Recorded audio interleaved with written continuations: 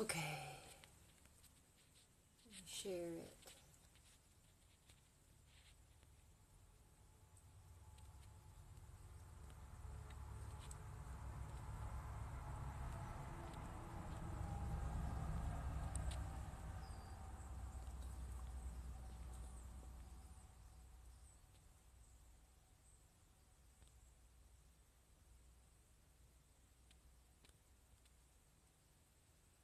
Good morning, good morning, everyone.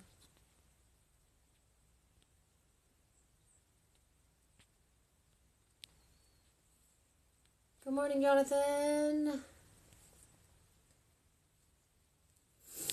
Okay, I shared the live. Please feel free to share the live if you've got any friends who would like to join us for meditation this morning. I'm realizing it's just a little bit dark in here. I didn't turn on the extra light, so um, that's okay. Nice on the eyes. Good morning. Good morning, everyone. For those of you who are new here, my name is Deborah. I am one of the creatrix lamas at lamaskar.com. We're an online mindfulness community where we believe that everybody deserves a safe space to show up exactly as they are. Um, these classes are our Bhakti Bites classes. Bhakti means devotion. So, devotion to what? Devotion to self care, our little bite sized sessions of self care. Because, a hey, Todd, good morning. Because a lot of times when we're on this path, when we're doing this work, um, self care is one of those things that's hard to get in, right? We're so busy, so busy doing shadow work and recognizing our triggers and handling the day to day life and trying to manage and balance all that stuff that we forget our simple practices of day of of um, self care. Sometimes even taking a shower or brushing our teeth or feeding ourselves well. Um, so I invite you every week to join me for these little sessions. Uh, uh, where we usually we will practice a tool and we will pra- we will sit in meditation with that tool to fully experience the scope of the tool itself. So we have been working with mudras um, for a number of weeks now. I really love mudras because they're a very simple tool. The only thing you need is to remember how to get your fingers in that position. um, and then you can use them in the moment, um, in meditation as well as in the moment to help balance what's going on, to help soothe the situation, to help bring down anxiety, to help increase authenticity or play. You know, there's so many, so many types of mudras. Um, and mudras work by redirecting the energy channels in the body, right? So we have so much energy that's actually coming out of our hands um, or flowing in and out of our hands. And mudras work to redirect that energy. Sometimes it's just a little bit of a redirection, like last week's mudra was the Vayu mudra. And we just tucked in our pointer finger, and that was it. And that was for balancing our the air element in the body, generating a sense of serenity within ourselves. So this week, this week is a holiday week for many of us, um, and it's a it's one of those holidays that requires us to spend time with people we've known, oftentimes people we've known for a long time. And when we know people for a long time, um, sometimes our relationships find their pitfalls, right? Not, every relationship is perfect, and the longer we know people, the more likely we are to find things we don't like about each other. Um, but I wanted to use this mudra because I was trying to think of what what qualities do we want to cultivate this week, right? And I thought about authenticity, allowing yourself to be authentic in the moment and to be truly who you are with your family and friends, right? Yeah, that's great. Um, connection, yeah, it's really important to make the connections with people and to you know um, to feel connected to people. Um, well, how about harmony? Yeah, harmony is really important too. We want to keep harmony, um, especially when we get together and gather, maybe with people who we don't always agree with, right? Um, so there was a, there was a bunch of these ideas, and finally I came across this one. This one's called the Kurma Mudra, K U R M A, Kurma Mudra, and Kurma translates to turtle or tortoise. And this mudra, this mudra is specific to cultivating patience. And I thought above and above anything else, right? To create harmony, we need a level of patience. To cultivate serenity, inner serenity, we need a level of patience. To communicate appropriately and well and compassionately, we need a level of patience. So I felt like this mudra was a really good one to do for this week because out of patience blooms so many other of those things that we hope for ourselves and for our family and for our gatherings this week. So, one thing this mudra teaches us is like the turtle, the turtle, the tortoise, who has one of the longest lifespans of any uh, land creature, right? I believe. Maybe land and sea? I don't know. Tell me if there's somebody who lives longer than a tortoise. um, but what does the tortoise do? The tortoise moves slowly. The tortoise breathes slowly, right? And when the tortoise needs to rest, the tortoise goes within and rests and slowly takes their time in everything they do, cultivating patience. So, how do we do the Kurma Mudra? Take your left hand. This one has two different hand shapes, so it's extra fun, okay? Uh, so take your left hand and curl in the last three p- fingers. So your pinky, your ring, and your middle finger, leaving your pointer and your thumb extended, palm up. And then with your right hand, you make the little I love you symbol, dropping just your middle and your ring finger, leaving your thumb, pointer, and pinky all extended. Now you've got to connect the two. The folded fingers go right on top of each other. And then you will put your pinky on the tip of your pointer, your pointer to the tip of your thumb, and your thumb to the base of your palm, right? And Can you, there we go. The base of your palm right here.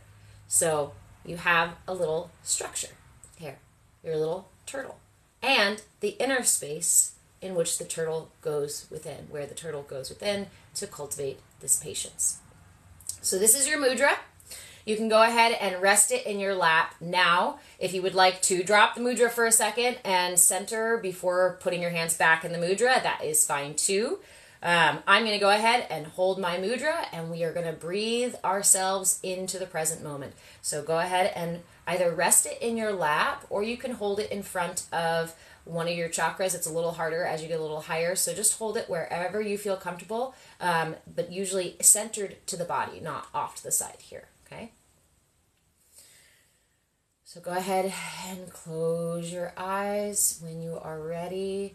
Remember that if you are driving a car, operating heavy machinery, please do not close your eyes, but you are definitely invited to sit with us during the meditation and kind of catch this vibe.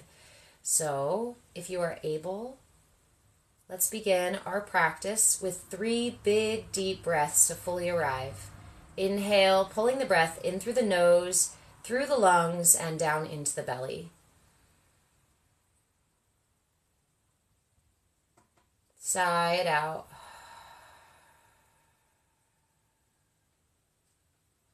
Inhale once more, elongating the spine and lifting the heart.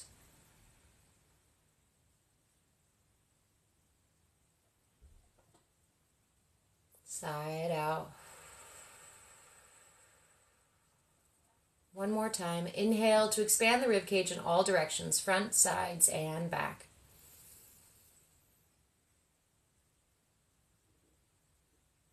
Let it go.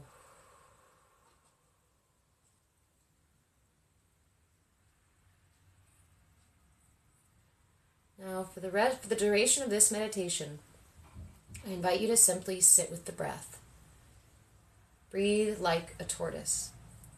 Take your time, slowly elongating the breath, following the inhale all the way to the top and the exhale all the way to the bottom.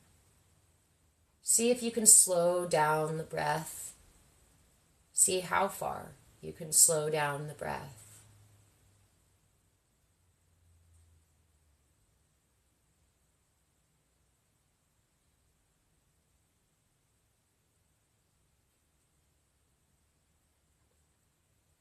Remember that the most important part about meditation is your intention and your attention. So, our intention here is to simply slow down the breath. And we bring our attention back to that practice over and over and over again. If your mind monkeys are busy and reminding you of stuff you got to do tomorrow or stuff you forgot to do yesterday, Simply thank them with a nod or a smile for their service and return to your breath. If there's a sensation that pops up or a sound outside of meditation, simply bring your attention gently back to your breath. In this way, we retrain the body and the mind to sit quiet in meditation.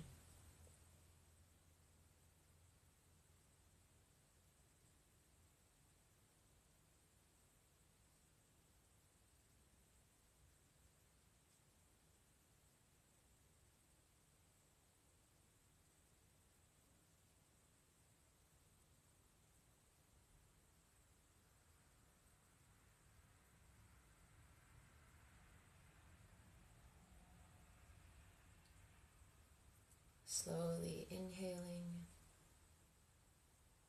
filling the lungs all the way to the top, and exhaling all the way out.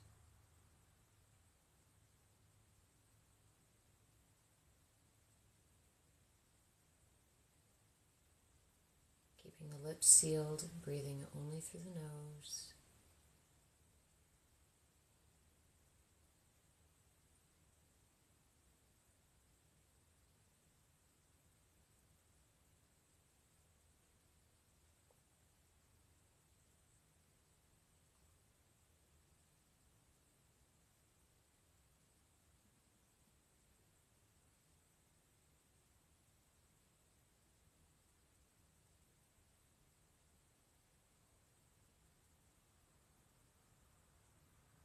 Cultivating a sense of patience, changing the quality of time simply by changing the quality of our breath.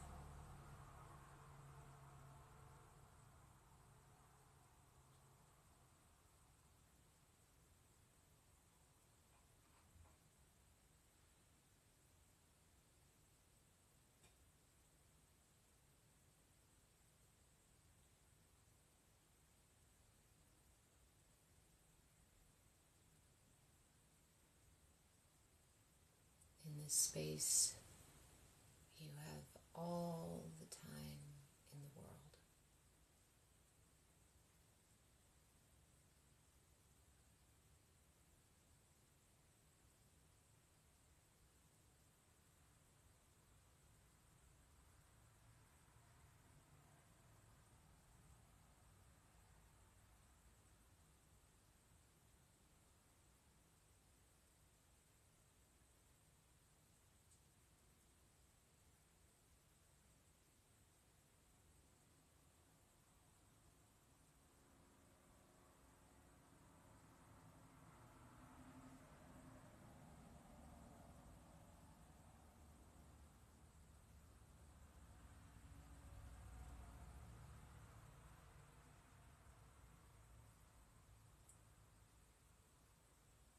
Notice as you continue to breathe a sense of expansiveness growing within.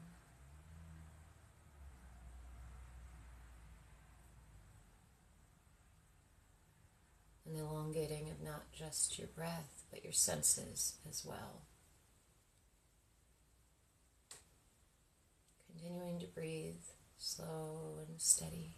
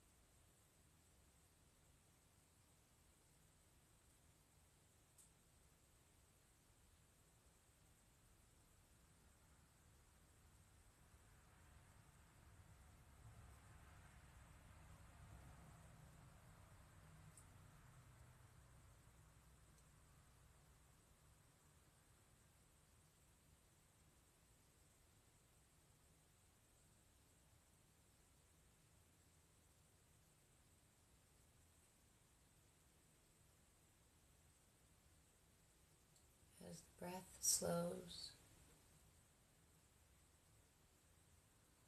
Notice the way quality of time shifts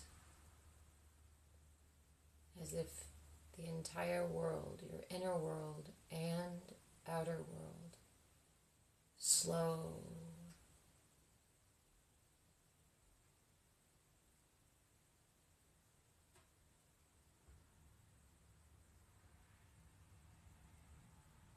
some spell has befallen the whole world around you. Everything slows down. There is all the time in the world to respond, to make choices on how to interact with life, how to be with life.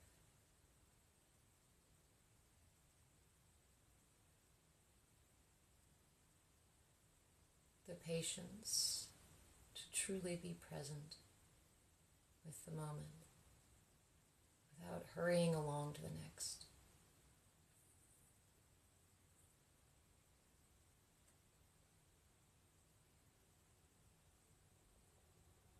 In this place,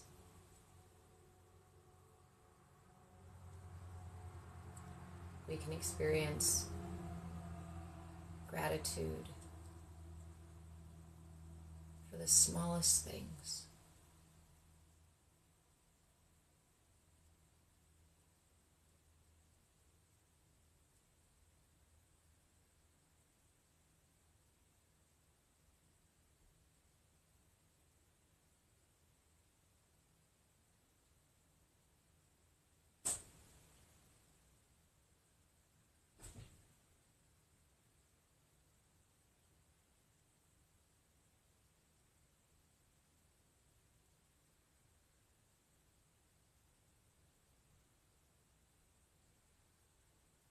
Encourage you to sit with this mudra as long as you would like. When you feel complete, I invite you to bring your hands together in prayer or simply lay one over the other over your heart in gratitude for today's practice, in gratitude for the breath that allowed allows us to change our quality of time, our experience of time, our inner and outer experience of reality and of ourselves and of each other. That simple breath, anchoring us in the present moment, in our present experience.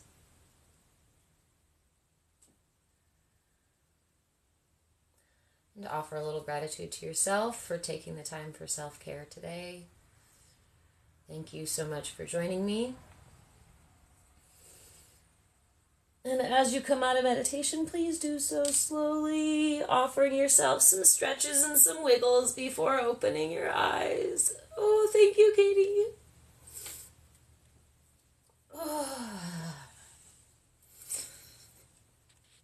Good morning, good morning, guys. Oh, Katie. Hey, Corey. Um, okay.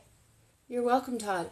Katie, the mudra is called the Kurma mudra, K U R M A, and um, translates to tortoise or turtle mudra. Um, and this one is a mudra for cultivating patience, cultivating cultivating an inner that inner expansive space that allows us to be fully present in the moment, patient in the moment, increasing our ability to respond and be authentic in the moment. Okay, so it is done like so. You curl in your last palm up, left palm up, curl in the last three fingers, leaving only your pointer and your thumb extended.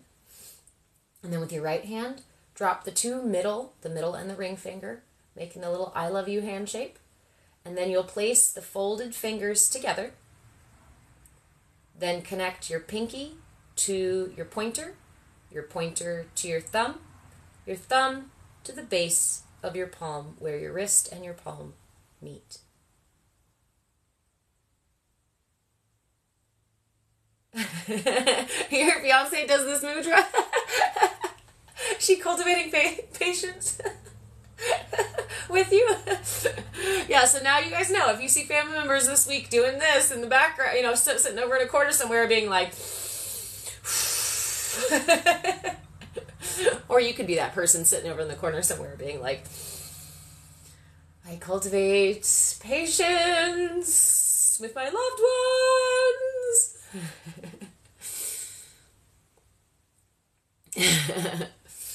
That's okay. Again, you know, these these mudras, they redirect the energy channels, but this is why we sit with them, right? So we get to practice them and really get in deep with them rather than being like, "Oh yeah, that thing I do during meditation," right? No, the mudra we do and then we meditate with that mudra so we fully understand it. Um so nice, Katie. It yeah, I find it extremely soothing. Um, and when you sit in meditation with it, I feel like it kind of you know that you see this inner space here where your fingers are all small compared to the shape of the space. It reminds me of the turtle shell and the way the turtle goes within and becomes smaller within its own little protective space to cultivate that sense of patience, to rest when it needs to rest, to take a break when it needs to take the break, right? And I find holding this in meditation that I feel that sense in there. It's as if I become a little bit smaller and my space becomes a little bit bigger. Diana, you can feel that finger if your fingers vibrating too. Yeah, these are really it's when you start to tap into your energy channels and really like intentionally pay attention to them. Um, the experience can be really visceral, right? We can feel it in our in our skin. We can feel it in our body. Oftentimes, I can feel it in my teeth. Um, or you can see it behind your eyes. When you really start to sit with the redirection of your energy body, the intentional redirection of your energy body, um, it becomes a really visceral experience. So, congratulations. That's a good thing. That's a good thing. It means you're tapping into and you're increasing your awareness of your energy body. And uh, doing that allows you to then affect and adjust and heal and balance your energy body. So, it's a huge thing.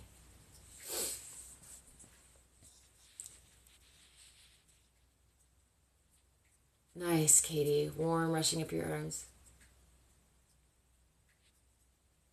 Ooh, Jonathan, you did you did the opposite hands. You did it the other way. So I'm I'm like, feel free, guys, to experiment with these mudras, right? Um, welcome. Oh, thank you, Nikki. Nikki with the llamas. You spoil me, my friend.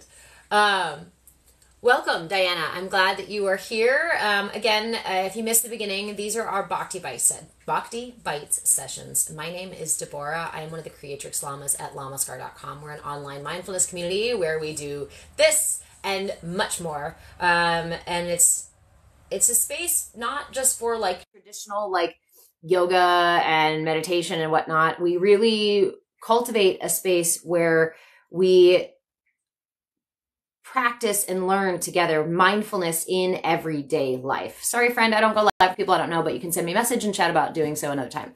Um, it's really about cultivating mindfulness in every aspect of life. It's not, it's, we don't, we're not, you know, going towards some religious something or other. We're not going towards one and only one school of thought because there is wisdom in so many different teachings all around the world. If we pull them all together and start to look at them all together, especially with the eyes of community, we actually can distill some really valuable information and some really valuable connections with each other, right? When we learn and we grow together and we share what we know.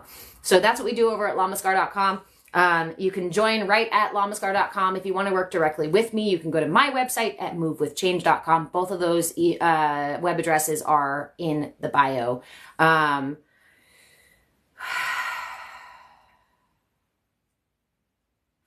oh, also, I forgot.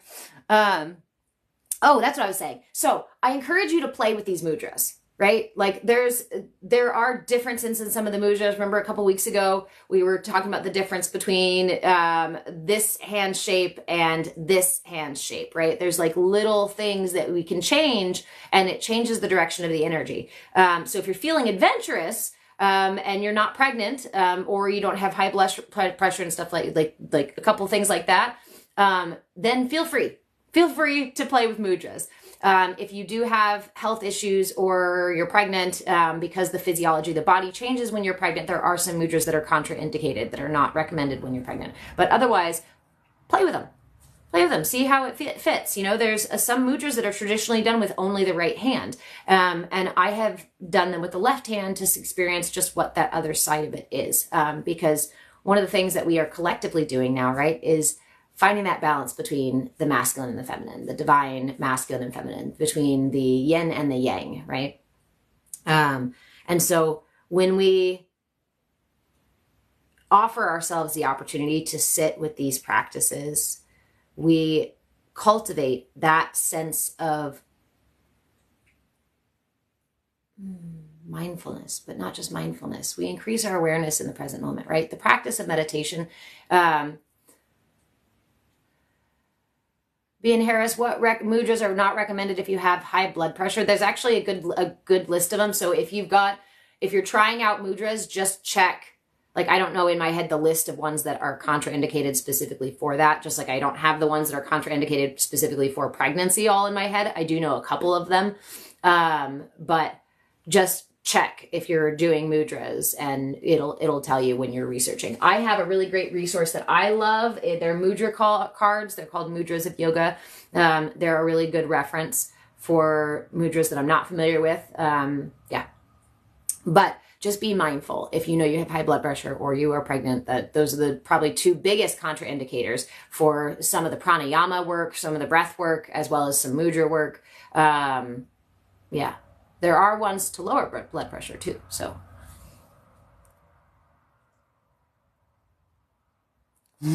diana you fall asleep when you're meditating I, yeah, my friend, I've done the same thing. And it's actually why I choose to meditate sitting upright now. Um, I was recently um, initiated into a specific lineage of meditation. And in this lineage, they say, feel free to get cozy. Like lean back against a chair if you want to, you know, just be cozy in your meditation. Don't worry about sitting upright. You don't need to do that. And I was like, yeah, thank you. And, and if I do this, my shoulders hurt, my back hurts, my shoulder, you know, my neck starts to get cramped, um, sitting in meditation, slouched over like that. And I typically tend to slouch into it and fall asleep or doze off. But I find in meditation like this, the thing that keeps me from dozing off is that, oh, I'm upright, right? I'm up, I'm upright, and I can't just nod off. Um, so yeah, but it is also really nice to do meditation as a collective, as a group. Um, you know, one of my favorite quotes that um, I've been saying for a while now. I love one of my favorite philosophers um, and um, wise people, I guess, is is Thich Nhat Hanh. Was Thich Nhat Hanh, um, and he made a comment, made a statement some years ago that the coming of the next Buddha or the enlightened one um, is unlikely to be a single person. Um, instead, it is more likely to be a sangha, a community of people practicing mindfulness together. Because that's the work that we're doing collectively right now, right? That's the work that we're doing collectively is is coming together and lifting each other up. I think the days of the almighty guru and singular spiritual teacher that we're all supposed to, um, you know, bow down before are passing. There is a guru within you, right? Guru translates to that which brings us from darkness to light. Thanks, Blue Cube. How are you, my friend? That which brings us from darkness to light. That's all. And the truth is, is you can have a great teacher and they can assist you on that journey. But ultimately, every decision, every choice, every action or inaction ultimately comes down to you, right?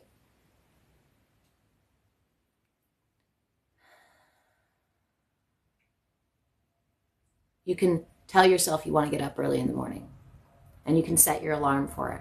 If your alarm goes off and you don't get up, you're not getting up.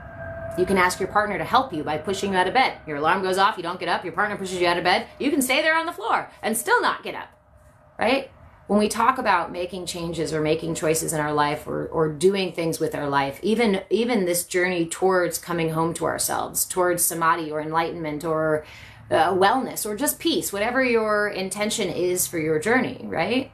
To get there, you are the one who has to take those steps. And we can have support, we can have guidance, we can find wisdom outside of ourselves. But if that wisdom ultimately does not ring true within ourselves, then what use is it to us?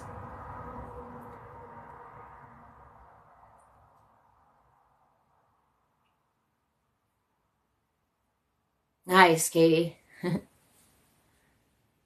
Thank you again, Blue Cube. Much appreciated.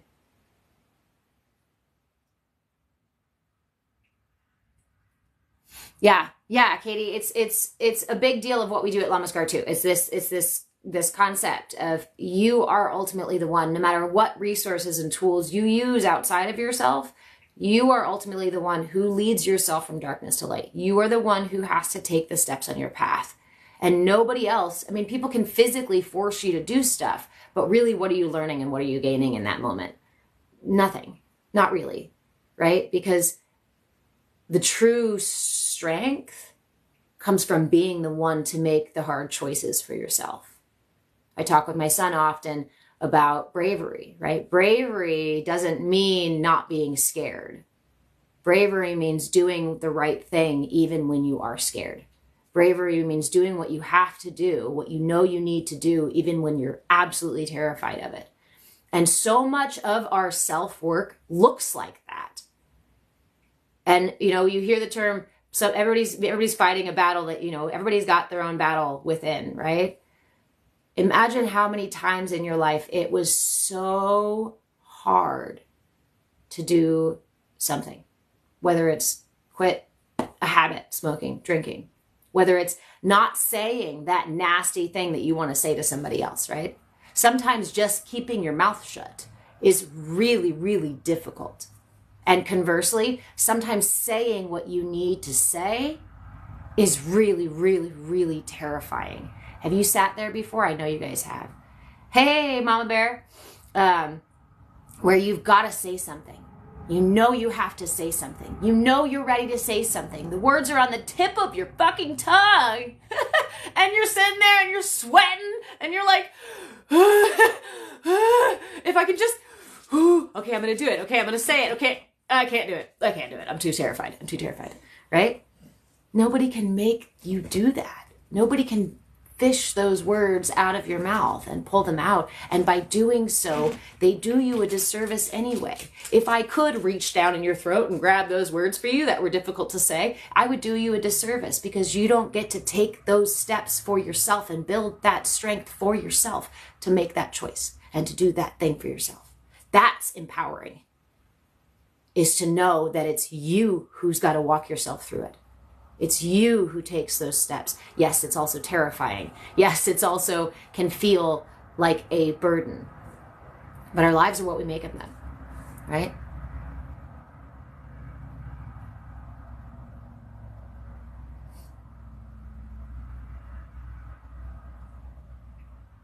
So,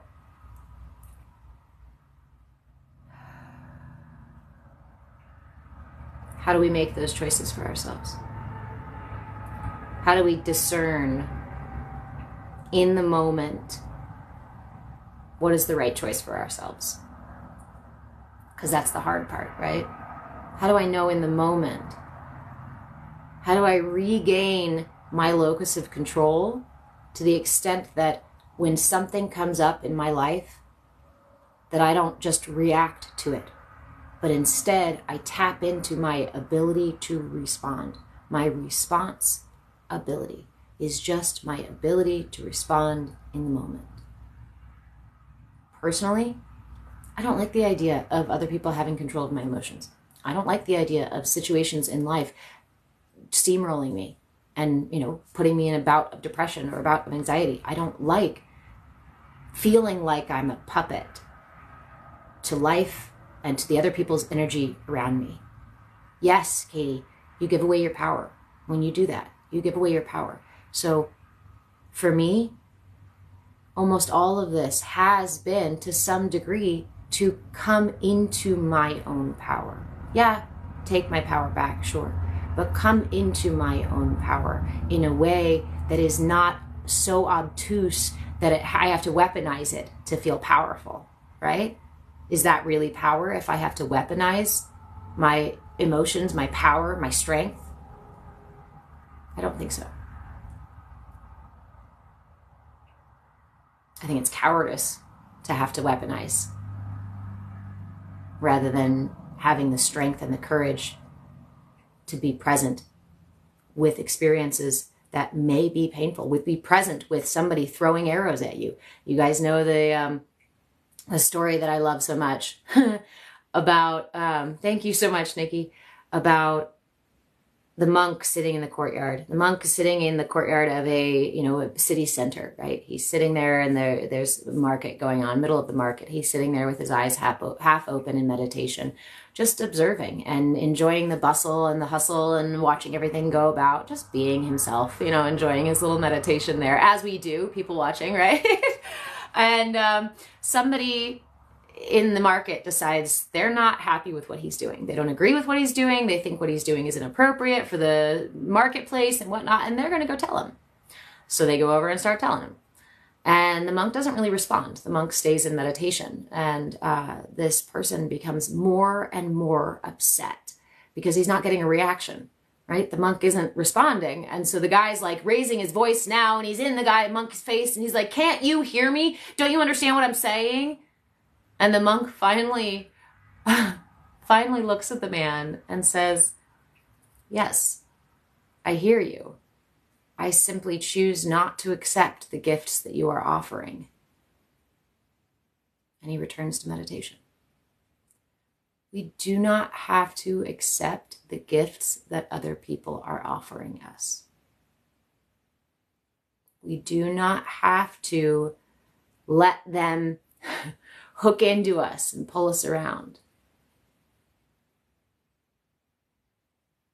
It is not a law of nature that we are just victims of our experience and other people's and their energies and emotions and whatnot, and there's nothing we can do about it.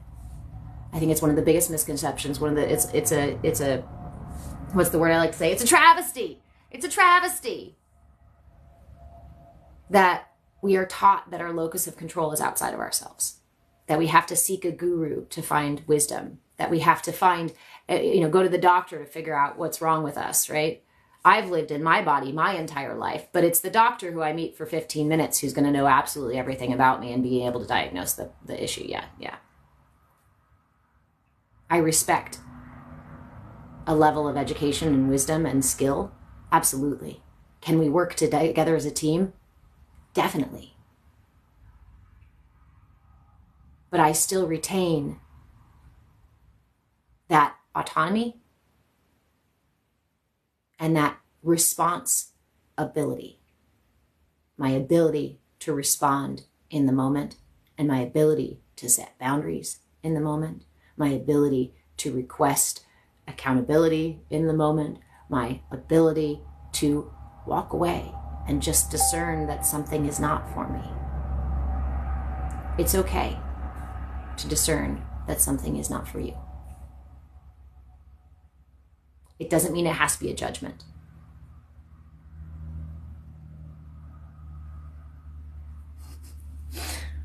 Okay, Katie, have a great day.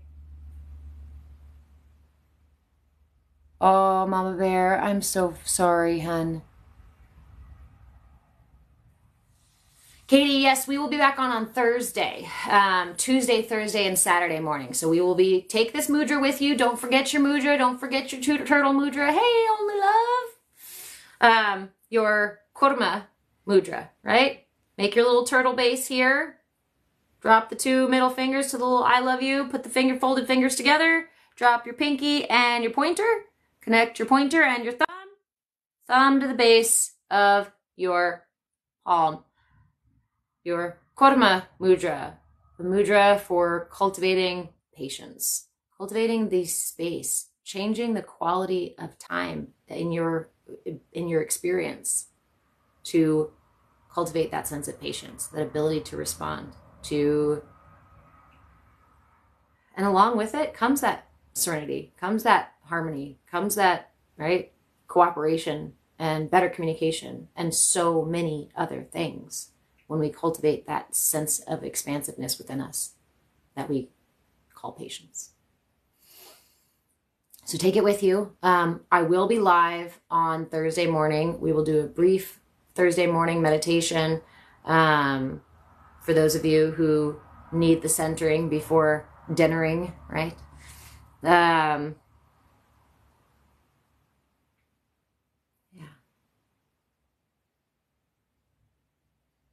We give away our power. We so often give away our power when we blame people for our experience, when we blame past experiences for our personality or our habits or our choices. We give away our power. Oh, well, somebody treated me like this, so that's how I am now. I remember I came from, uh, as you guys have heard before, I came from a really tumultuous household, right? There was a lot of abuse in the household and all that kind of good stuff. Um, trial by fire. And I remember meeting somebody um, in college, my first, you know, my early 20s or something.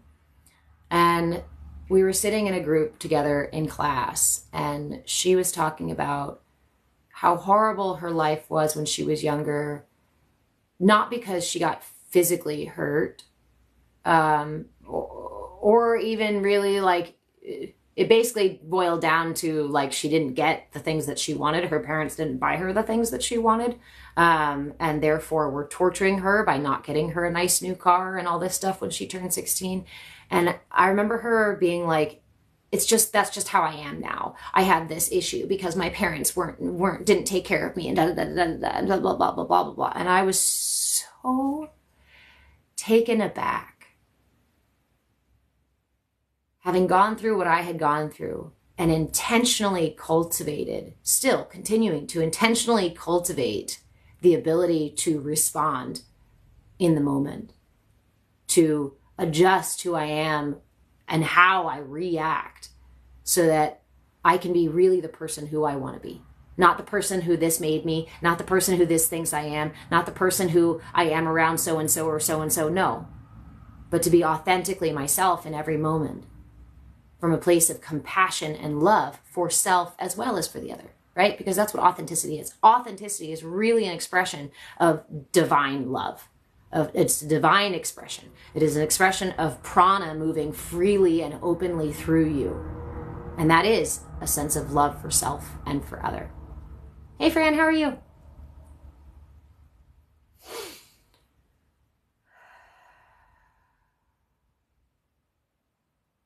I was just taken aback by her acceptance of it. Yeah, this little thing happened, so now it's just who I am for the rest of my life. And I remember saying something like, Why would you condemn yourself to that? Why would you condemn yourself to be this person who you verbal, verbally acknowledge is shitty? Like you recognize that these are really poor tools for communication and interpersonal relationships and all these other things. Uh, but you're like, yeah, well, get over it, deal with it. This is who I am. So, like, okay, you're right. This is who you are because you've chosen that. And because there is a gift for each of us in the path that we choose. If you choose suffering for yourself, choose suffering. Fucking own it. Go do it. There is so much to learn. There are lessons, there are gifts in a path of suffering, right? There are lessons and there are gifts in a more peaceful path too. There are lessons and there are gifts in any path that we choose. And therefore, none of them are really wrong. It's just what experience do you want to have? Honestly, I commend I commend those people who come into life and they go, I'm going to choose suffering. I'm going to be a total asshole. I'm going to be the taint of the world and make sure that everybody knows how stinky I really am. Right? You know those people. And I just go, wow. What what a contract. What a soul contract. What what a what a what gumption to come into this life and be like I'm to I'm going to live in that personal hell for my own little deal. Sorry, guys, I don't go live with people I don't know. Feel free to send me a message about going live another time. Oh, Fran, it's never late. Timing is always as it needs to be, right? So you're here just right on time. And of course, I'll always give you the mudra anyway, right? Um, Fran, so do, do you want the mudra for the week? I don't know if you caught it. Our mudra for the week is called the Kurma, Kurma, mudra. K U R M A. Um, kurma translates to tortoise or turtle, um, and this mudra cultivates patience. Imagine the way that, right, the turtle is one of the longest living creatures that we have on the planet. Um, turtles' breathing and heart rate are quite slow indeed. They live um, when they need to rest, when they need to protect themselves, when they need to pause, right? They go into their shell and they take the time that they need. I feel like more than any other creature, the tortoise probably has the best ability, the best response ability because of the quality of time that they experience. And we've talked before in meditation about how when we practice mindfulness, when we practice meditation, we can change the quality of time that we experience, right? We can actually change the way that we experience time. I wonder, I wonder how tortoises experience time. Because if we can, if I can change my experience of time simply through meditation, what would it be like to cultivate that kind of patience with life itself in every single moment?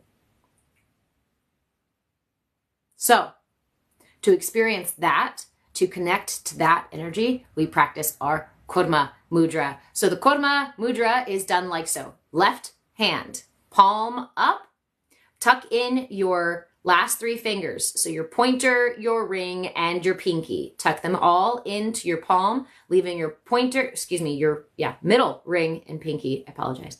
Leaving your pointer extended and your thumb extended. So you get a little L shape, right? With your palm facing up. Hey, Cougar Queen. And then your right hand goes into the little I love you symbol by dropping those two middle fingers, your middle and your ring finger. And then you place the folded fingers together right? Making your little turtle in the middle.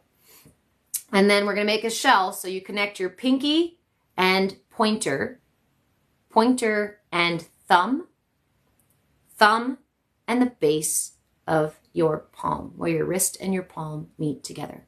So you create that shell. And I really love this mudra because it's really visual. Like I, I the, this, the experience that I have when I do this mudra is very much like this visual of all of this expansive space around, that is the shell around the turtle. It's almost as if I get a little bit smaller and my space gets a little bit bigger. So, in this way, we cultivate that expansiveness within. The expansiveness that gives us, changes our quality of time so that we can be more responsible. We can be more able to respond in the moment and cultivate a, the sense of patience that is needed for things like harmony and connection and better communication and better relationships with people we may not always get along with. So that's why we're doing this mudra this week, the Kurma mudra, the turtle tortoise mudra. We make that shell with our fingers and we tuck that little turtle inside. So when you do this mudra, hold it down by the lower chakras. It gets a little bit harder to hold it at your heart. You want to hold it by your lower chakras. Um, the sacral chakra is your center for nurturing. So it feels very natural to hold it in front of your sacral chakra.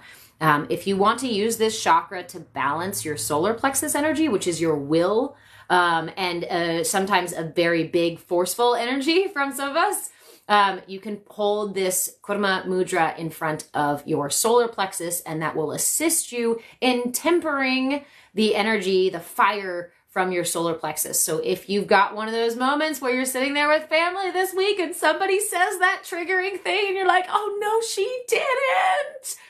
But you're trying to be good and you just know that you don't need to cause that chaos because mama's gonna be real mad if you say some shit and try to start a fight. Nope.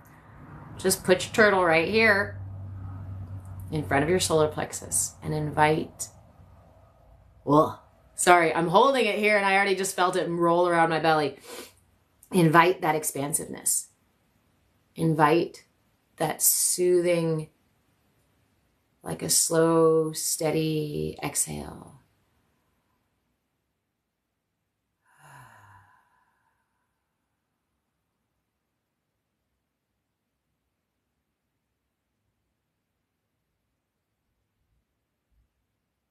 Literally my entire house just got quiet.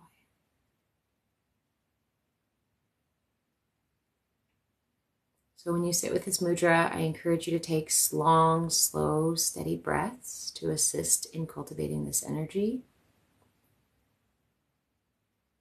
Long, slow, steady breaths in and out of the nose, elongating the breath like the tortoise, following the inhale all the way to the top. Thank you, Jason. You guys are spoiling, me with the llamas this morning. And following that exhale all the way to the bottom. This is such a powerful mudra. And for those of you who, you know, I have animal medicine cards. I like I like connecting to animals. I feel like they're easy to understand and easy to connect to, right? Um, our human helpers um, we have a symbiotic relationship with them. So this one I really like because it is specific to the turtle, and I can meditate with that energy. I can meditate with the turtle itself, herself, and all that comes with it, and asking for guidance and support from her as well, right? Or him, whichever works for you. So I really like this mudra. I don't want to put it down now. See what you did? You got me stuck in a mudra. High tapping point. I'm stuck in a mudra because it's a really nice mudra. and it happens to the best of us. I know you get stuck tapping sometimes because I got I've gotten stuck tapping sometimes. You know. You know. ah.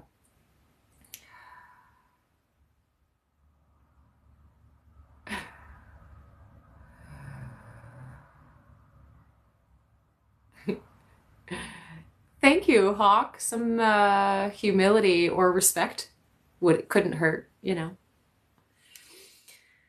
This is a what we call CAYA yoga space. CAYA stands for come as you are. C A Y A yoga. Yoga as a lifestyle, as a philosophy, as the uh, teachings that bring us into balance with our inner and outer selves. So I always invite you guys to this space um, with a sense of curiosity and willingness, right? You may not always a, agree with what you find here. You may not. In fact, I, I encourage folks who don't agree with what they find here to engage in conversation and hang out for a little bit with that sense of curiosity and willingness to hear and to learn and to grow. It offers us an opportunity to expand our awareness, to deepen our understanding of ourselves and the other, but ultimately ourselves. Because we're ego beings. We're stuck in this subjective, subjective experience simulation or whatever you want to call it. But ultimately, I can't get outside of my subjective experience. Neither can you. And I think that's by design. Because when I'm stuck in my subjective experience, and you are too, it means I can never completely know everything about you. I can never be certain of all the things about you. And therefore, my innate human curiosity is piqued for lifetimes. Reality is a multifaceted gym, and each of us are the facets on that gym.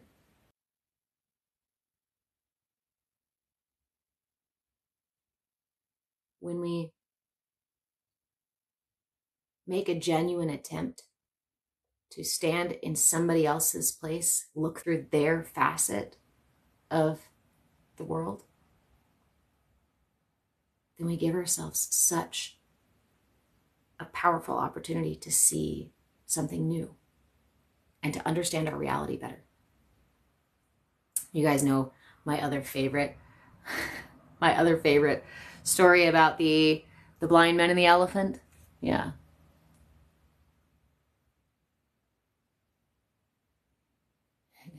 there you go, Cougar Queen. uh.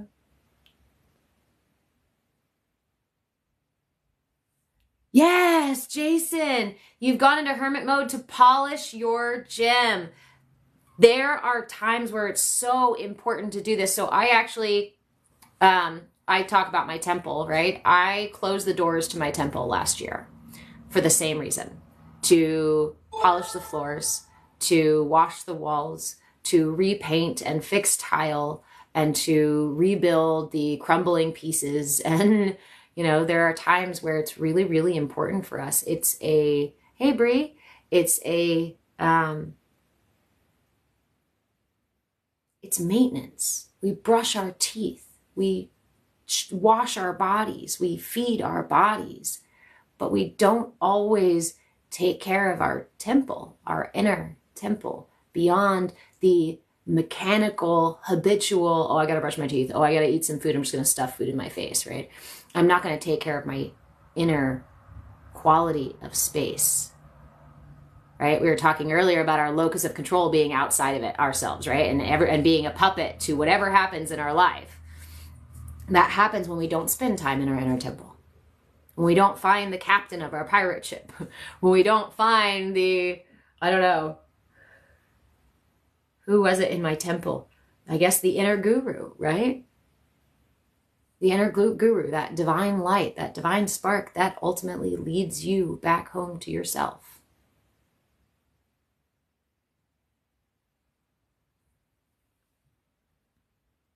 Tony, how are you? Thank you, friend.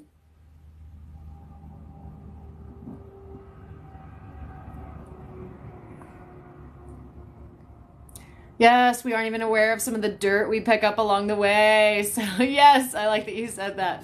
Um, yeah, you know, uh, especially for those of us who like to be of service in any way, right? There is a lot of us who allow people into our inner temple, into our inner space. And when we allow somebody else's energy to affect our inner space, we're letting their, them rummage through our temple. We've got the doors wide open, the windows right wide open. You know, the storm is blowing through, throwing papers and everything everywhere. You've got a riot over here. You've got, you know, like, when was the last time you checked on your temple? I love you too, Emily. It is so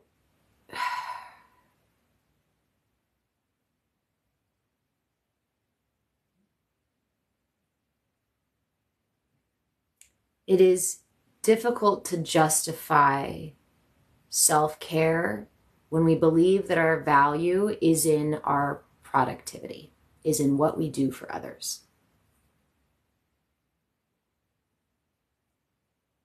The paradox is that when we care for ourselves first, take care of our temple, fill our cup, make sure we are warm and clothed and fed, then the quality of what we give is exponentially greater. Because it's not coming from an empty cup.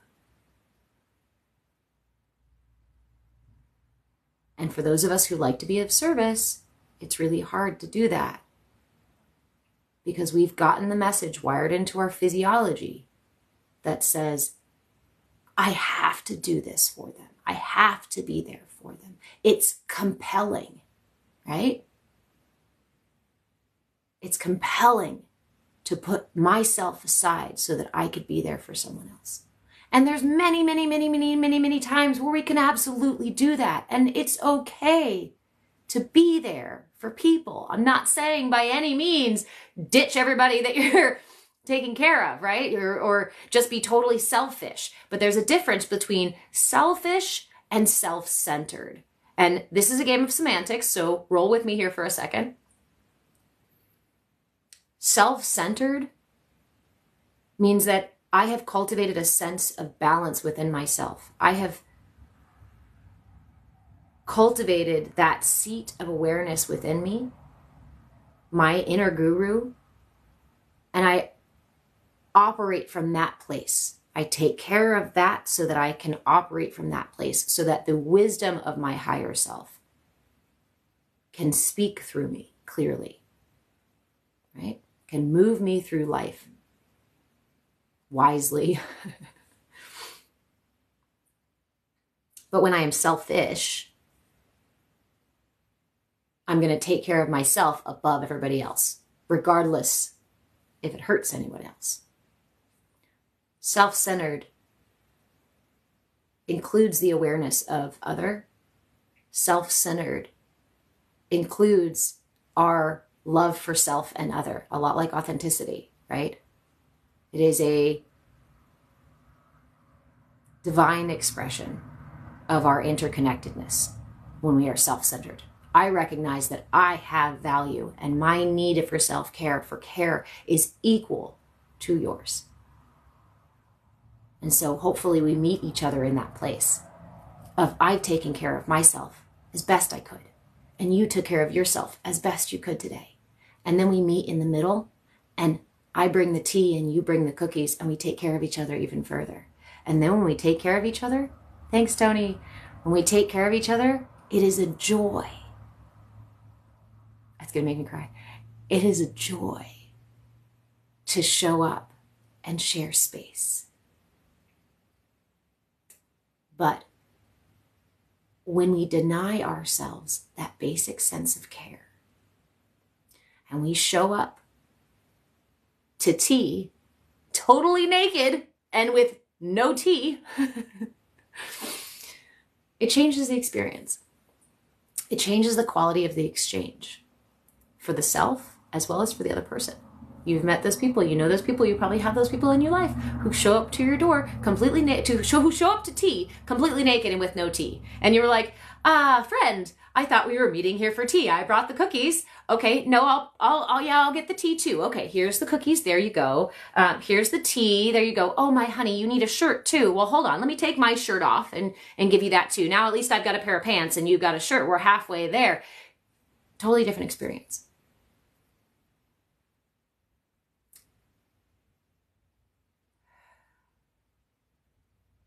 Let's remember to hold space in our lives for those people who are struggling for self care, still learning self care, still cultivating that sense of self love enough to give themselves self care. Let's hold space for those people. And make sure that you're leaving space for people, if you don't already have them in, the, in your life, who show up having taken care of themselves too. We don't want to surround ourselves only with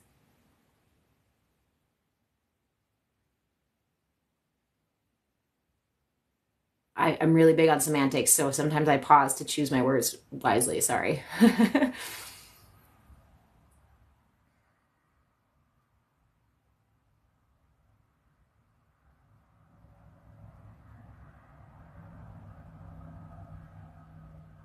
I don't have the words for it right now. I have stories playing in my head. I have images playing in my head. I have I have two people coming together wanting to spend their lives together, right? Let's let's friendship or romance or whatever it is.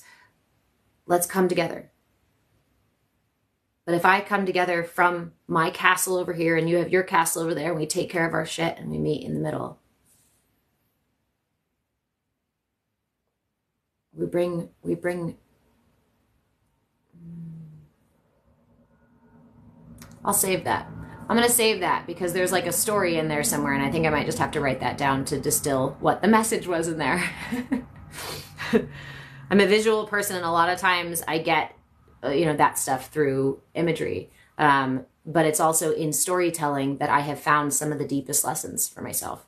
Um, I am going to go here in just a little bit, but I wanted to remind you guys about internal family systems. If, uh, thank you, Fran. um, but speaking on self love, one of the tools that has been exponentially helpful to me is a combination of mindfulness and a process that is called internal family systems. Um, internal family systems is the idea that within us all we have these different facets of self. Yes? The way that I show up to dinner with my family versus the way that I show up out to drinks with my friends are, are different. The way that I show up in private with my romantic partner versus the way that I show up uh, at my job, right? These are different facets of myself. Internal family systems says that these are that we can turn each of these into a character, kind of like a story. Hey, Jenny. Um, where we play a thought game with our internal family. And I've been working with this for years. For me, my internal family, the setting is a pirate ship. I am a pirate. And there is a whole crew in here. Self love is the process of meeting each facet of yourself, cultivating a relationship with that facet of yourself so that you can cultivate inner harmony with all parts of self. Mindfulness is a massively helpful tool to this end. if it wasn't for mindfulness, I don't think I would have gotten as deep into inter- internal family systems as I did. I've written stories about a bunch of my characters, but it was actually in the practices of meditation. It was in the practices of sitting down to have a conversation in my own mind with these parts of myself, to negotiate with these parts of myself, finding the awareness and the patience with myself in the moment when I see the you know what i would say the, rearing the ugly head right my anger over here this character who's my defender who's big and strong and loud and holds boundaries firm when that person comes up, when that character comes up over like a tiny little thing that's not necessary, right? You know, that big reaction, you're like, ah, I feel it coming. I can feel it rising up in me. What do I do?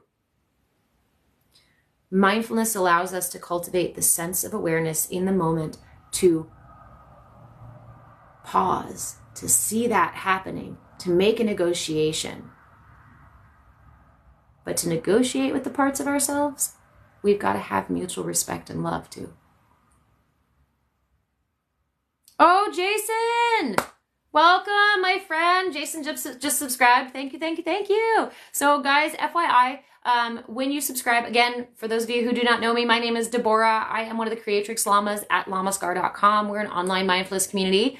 Um, and when you subscribe, we have various levels of membership. When you subscribe here, you get a discount link for a discounted membership to Lamascar. You also get the link for our energy exchange membership. Um, and I'm still learning how the TikTok subscription stuff works. So if you don't get that, please send me a message and I will send those things to you. Um, if you'd like to join Lamascar, again, you can either subscribe here, you can go directly to Lamascar, or if you'd like to work directly with me, either through Lamascar or in private coaching, you can go to my website at movewithchange.com. Those are all in the bio. If you have any questions about that, um, feel free to just send me a message. It can be the easiest way to do it and just go, Hi, I was in the live and I want to know all the things. um, so,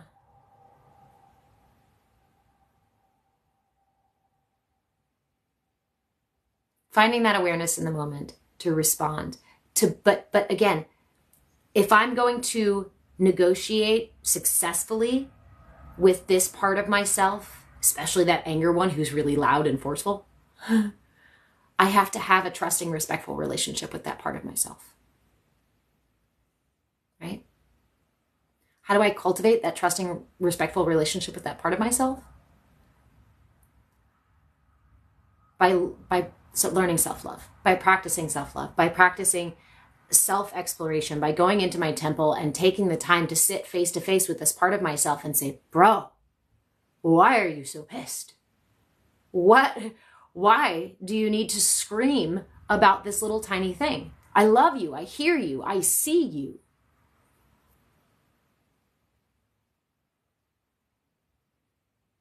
So many times with parts of ourselves we want to say I hate you. I don't want you here. Go away. You're fucking shit up. Go away. I have that conversation with parts of myself still. And it doesn't make for a good relationship. it does not make for a good um, exchange. And that part of me, when it comes up, I struggle to manage myself when that trigger is poked because I don't have that relationship with myself. And again, in the wise words of my mama, she said, if you create an enemy of yourself, of any part of yourself, it is a battle you will, it is a war that you will wage your entire life. It is a battle you will never win.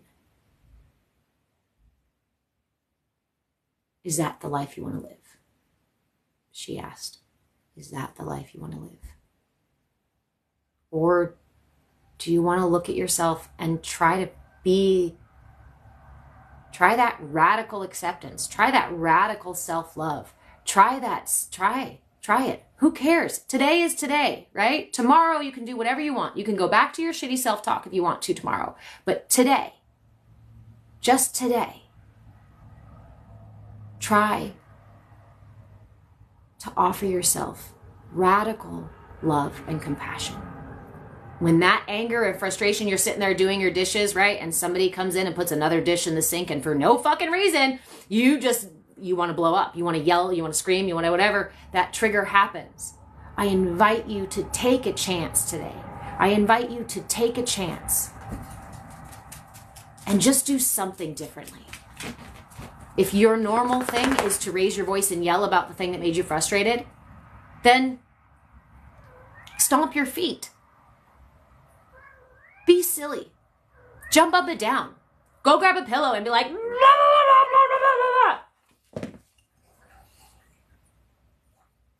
or take some deep breaths.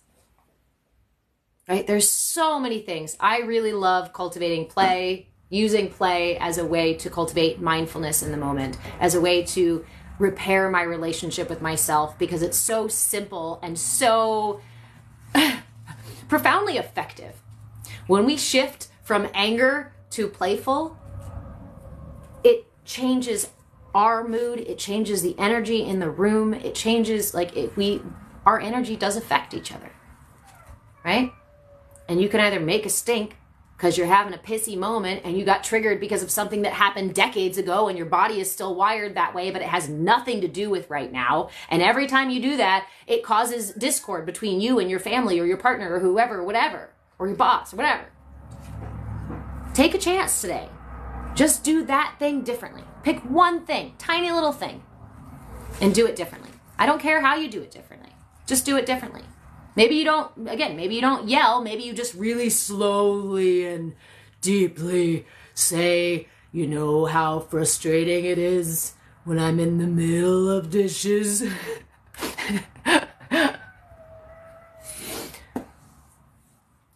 Life is not so serious as our bodies and our brains sometimes tell us it is. Things are not so dangerous as sometimes our body and our brains tell us it is. Tell us they are. So, cultivate, let's cultivate some patience this week with ourselves and with each other. Let's be like turtle. Move slow and steady and rest when you need it.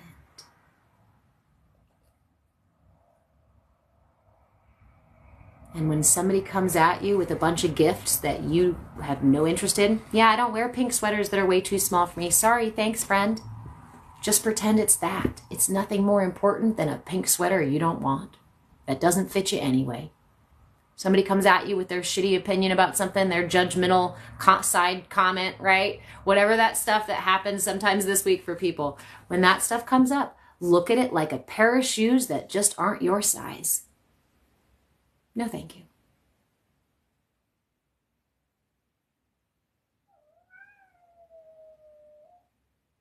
I love you guys so much.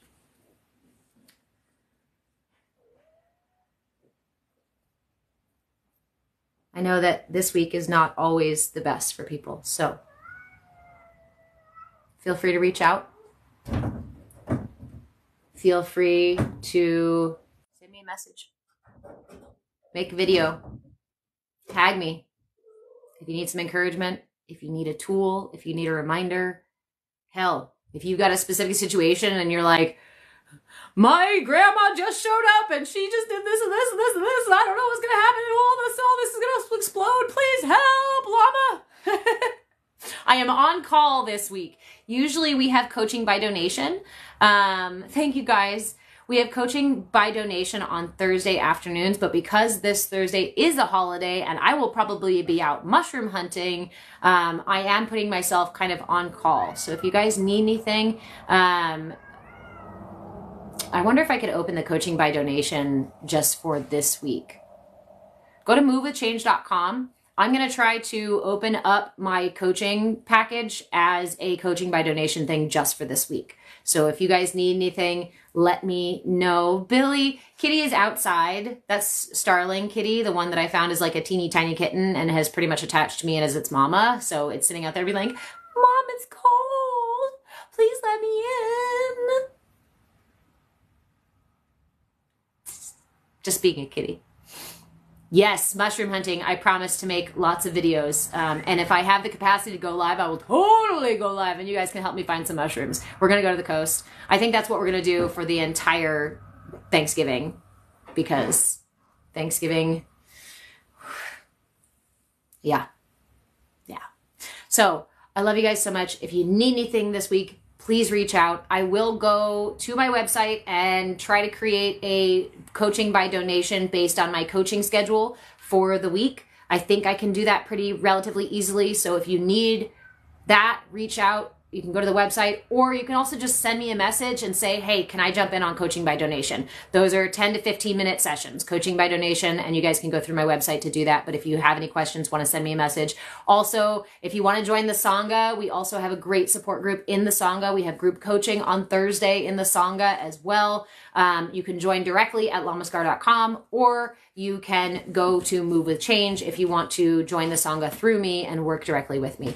Um, otherwise subscribe here on TikTok and you get a discounted membership to the Sangha and you get the link for the energy exchange membership too in case the dollar sign is something that keeps you out of the Sangha. So, all right, my friends, I love you. I'm going to go have my breakfast. I'm going to go let that poor sad little kitty inside and probably throw the, throw the fris- frisbee for my dog. All right. Have a wonderful, wonderful week. Don't forget your Kurma Mudra. Ta-da! Be like turtle. Breathe slow and steady, my friends. Iris, you just don't about don't trust DMs on online sites anymore. I know it's chaos out here. Um, so same thing as I was saying earlier. Make a video, tag me in the video, talk directly to me. Don't send me a message if that doesn't work, right? Because it is it gets kind of messy over there. If you want to communicate, if you need some support, reach out. Um, and like I said, I will set up the coaching by donation as best I can um, on the website. So if you guys need anything, you're not alone. Okay? I love you so much. And I will see you Thursday morning for Bhakti Bites again. Love you.